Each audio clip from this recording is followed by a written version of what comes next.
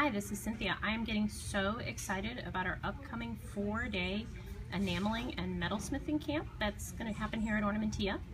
Um, Laura Guenther, who's a fabulous um, enameling artist, is going to be here teaching it, and she has put together the most beautiful kit.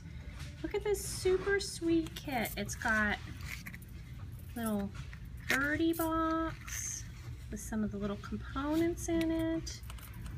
This has some pieces of metal and a little vellum envelope with little sweet little stickers. Um, Laura is a Painting with Fire certified teacher, which means that she learned from directly from Barbara Lewis and she knows all the techniques that you need to do immersion enameling.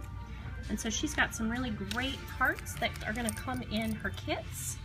Um, now, I can't guarantee all these parts will be in your kit because we're still finalizing the projects. I just met with her today and Laura had enough projects for a three-week enameling camp, but I thought that might be a little much for most people, so we're going to break it into a few different camps.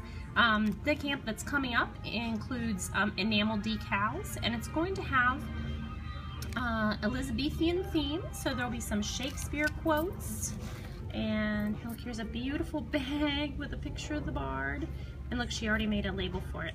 We're naming the camp Such Stuff That Dreams Are Made On, which is the actual quote from Mr. Shakespeare.